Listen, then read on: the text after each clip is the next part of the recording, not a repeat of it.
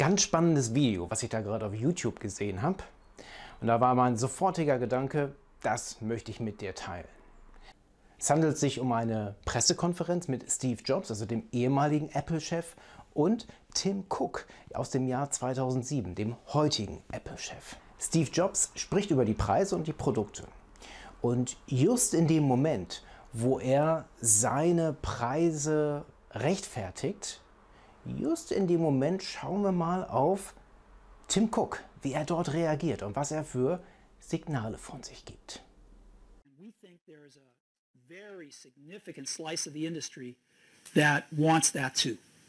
And what you'll find is our products are usually not premium priced. You go, you go and price out our competitors' products and you add the features that you have to add to make them useful and you'll find in some cases they are more expensive than our products. The difference is we don't offer stripped down, lousy products.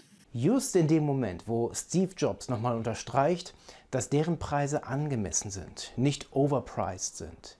Just in dem Moment, da äh, bewegt er sich auf seinem Stuhl, muss sich einmal räuspern Products. und schließt die Augen bzw. guckt weg. Das sind ziemlich eindeutige Signale. Könnte es sein, dass er nicht ganz d'accord mit der Aussage war?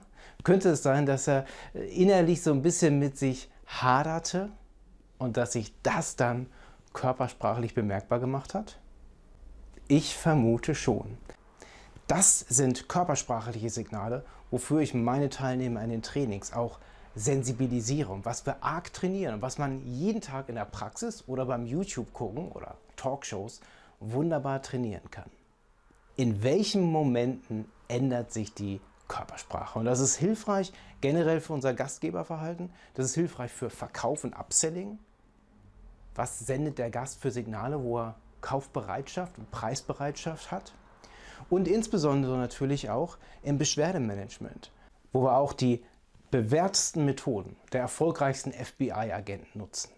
Wie sie Touristen, Terroristen meine ich natürlich, Terroristen, Bankräuber, Kidnapper oder andere Bösewichte, wie sie es dort schaffen, mit Verhandlungsgeschick, mit guten Fragen, mit einem Gespür und einer Wahrnehmung für die Körpersprache und durch eigenes, sicheres, souveränes Auftreten ohne Blutvergießen die Situation auflösen dass Geiseln wieder freikommen, dass die Bösewichte von ihren harten Forderungen abweichen und dass alle das Gesicht wahren können.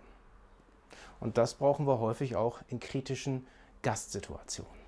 Meine Empfehlung ist, bewusst auf das eigene Auftreten zu achten, wie viel Überzeugungskraft und Souveränität steht hinter meinen Aussagen und mal durch YouTube, Talkshows, Netflix auf die Körpersprache der anderen zu achten und da eine verstärkte, bessere Wahrnehmung zu haben, um schneller einschätzen zu können, ist mein Gegenüber für etwas offen oder nicht.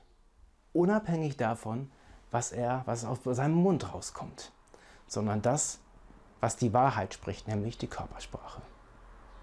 Viel Erfolg beim Anwenden.